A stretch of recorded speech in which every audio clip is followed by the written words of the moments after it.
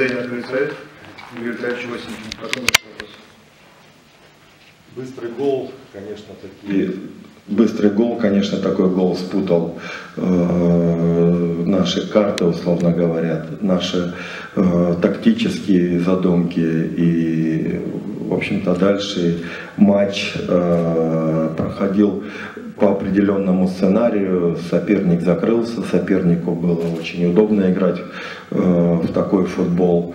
Э, но мы, как могли, э, пытались э, найти какие-то проблемы в обороне у соперника. Тяжело это было, наверное, во втором тайме больше мы уже нащупали какие э, слабые места, но все-таки недостаточно. И, к сожалению, опять концовка, что-то у нас слишком много в концовках веселых эпизодов э, бывает и в одну, и в другую сторону. А, Лучше, когда мы играем более стабильно, ровно.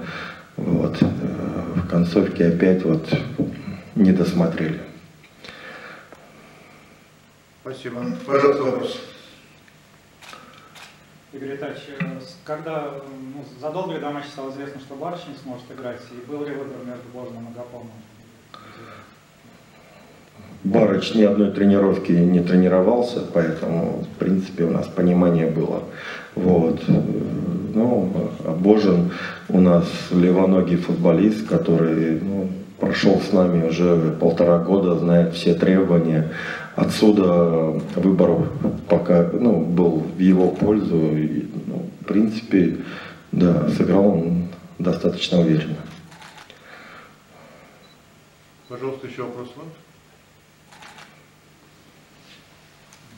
Тогда все, Да, спасибо. спасибо.